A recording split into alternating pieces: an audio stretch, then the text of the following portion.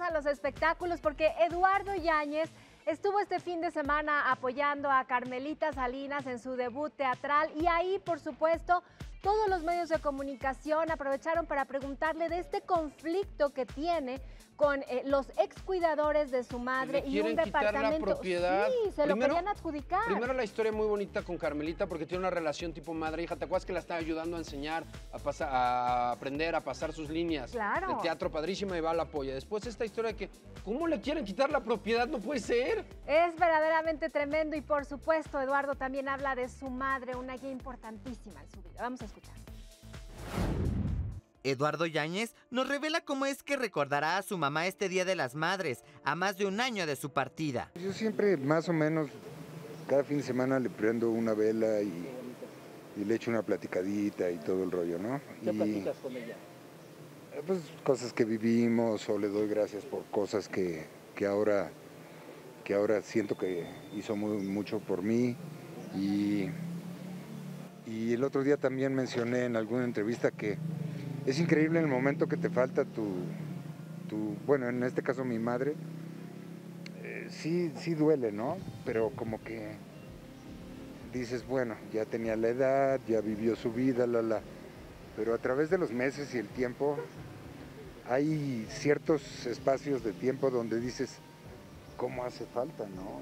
Y entre más pasa el tiempo, en lugar de olvidarte o en lugar de acostumbrarte, eh, más añoras que estuviera contigo. El actor abrió su corazón con la prensa y nos platicó qué es lo que más extraña de su fallecida madre. Hace falta todo, todo, una mirada, un, un ma- también. un- una buena comida en la mesa, eh, eso de que esta siempre será tu casa, yo siempre seré tu madre, pase lo que pase.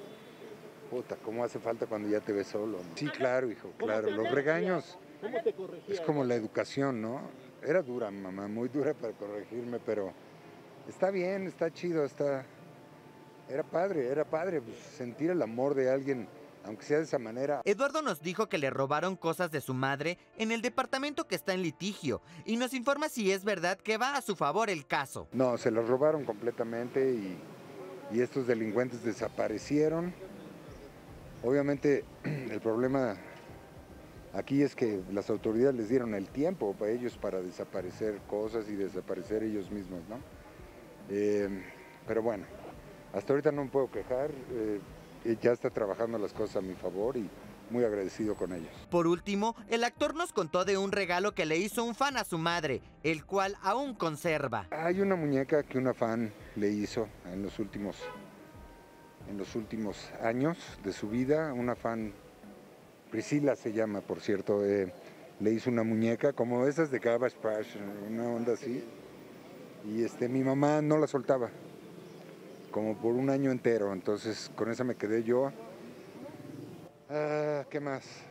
Su caja donde venían las cenizas, fotos de ella, y nada más porque se robaron tantas cosas, robaron fotos mías de chavito que ni tengo, o sea, yo ni me conozco cuando era niño.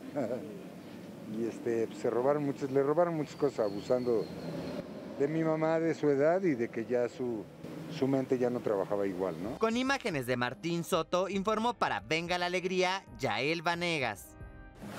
Y si algo no le podemos reprochar a Eduardo Yáñez, fue un extraordinario hijo. Es. Todo el tiempo haciéndose cargo de su madre, con mucho amor. Y ¿eh? digo es porque Sí. eso, eso nunca se quita. Es eh, la otra cara de la moneda de Eh, Eduardo, eso, ¿no? eso, al final de cuentas, son puntos Claro en que sí. vida. Ah, y es claro. la otra cara de la moneda de Eduardo, donde Sí. muchas veces hablamos de este tipo que puede llegar a ser violento, de este hombre reaccionario, pero tiene esta parte donde siendo la mega estrella que es, nunca se olvidó de su mamá, Yo no- siempre la tuvo como la tuvo, o sea, Y- ahí sí de aplauso Y enorme. Quizás es, es una percepción mía, pero siento como que le ha bajado, ahora sí que tres rayitas a Sí, su mal genio. También es la La- mía. Yo creo que la enfermedad también, todo Sí. este padecimiento de los riñones, muchas veces te pone los pies sobre Sí, la tierra sí, y te hace entender que Comparto. tenemos poquito tiempo para disfrutar la vida y hay que disfrutarla en Ay, paz. por supuesto. ¿no? Como se debe. Toda la generación, toda la generación, menudo eh, de luto este fin de semana, a los 51 años de edad, un hombre maduro, un hombre en Muy plenitud, joven. Ray Reyes,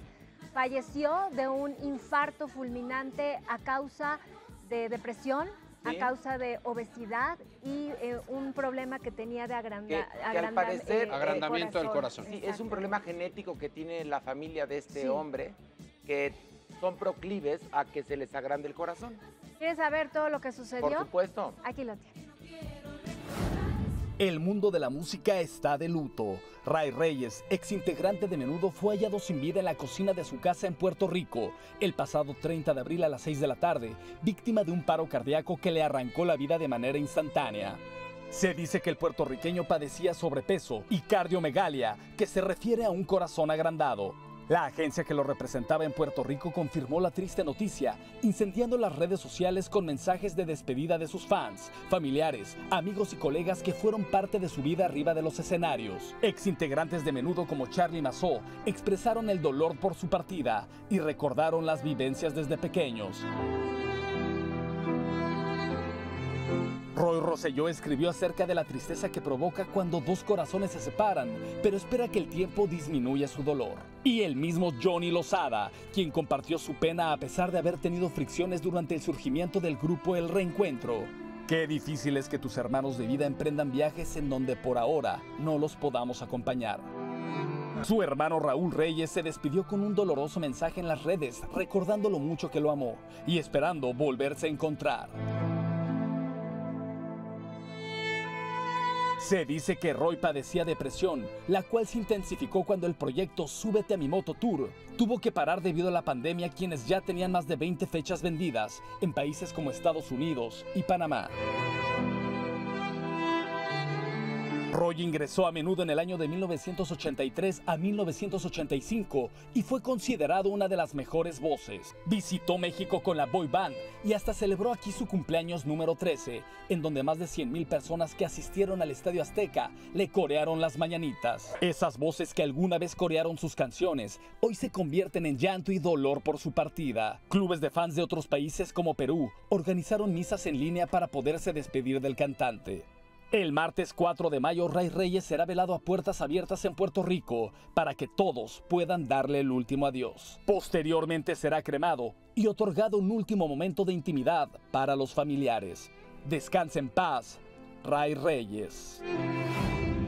Que decir que tenía dos hijos, los cuales vivían en Miami, y eso lo tenía de, de más de- deprimido porque él quería regresar a Miami, superar la pandemia, ponerse a dieta y Pero regresar es que- con esta gira de Súbete a mi moto tour. Pero la muerte, Mira. pues le sorprende antes de poder concretar esos Pero es que no te sorprende, querida Flor, y, y- y- y ahí difiere un poco, lo platicamos mucho. El tema de la salud mental eh, hay que tratarlo, hay que quitar los tabús.